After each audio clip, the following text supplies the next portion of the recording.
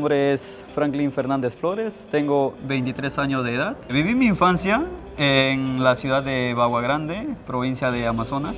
Tuve una niñez dura trabajando y me enlisté en, en el ejército.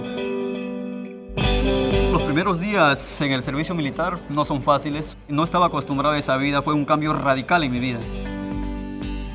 De la beca 18 me enteré por unos representantes que llegaron al cuartel. Me interesé bastante por el programa porque me pareció muy buena oportunidad para surgir en la vida y ser algo más adelante.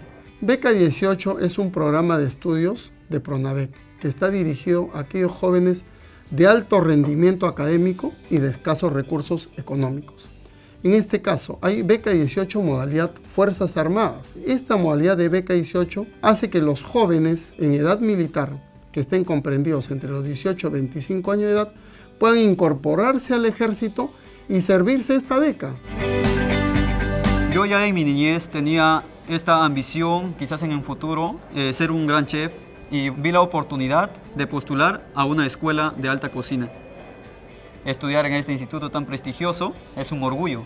Es muy costoso también, cosa que no cualquiera tiene acceso a este instituto. Beca 18 me dio la oportunidad de estudiar, de pensar a futuro. Nosotros tenemos becarios en los 1800, más de 1800 distritos que existen en, en todo el país. Estas becas le permiten a chicos de escasos recursos tener la oportunidad de vida que nunca pudieron haber tenido. Para que un país la haga, como decimos los peruanos, para poder ser un país que le da el nivel de bienestar que se merece su gente, tienes que tener una buena educación. Hoy día en el mundo no hay ningún país eh, que logre el desarrollo a través de la minería o a través de las actividades primarias portadoras. Es por eso que la educación es clave en la transformación de una sociedad.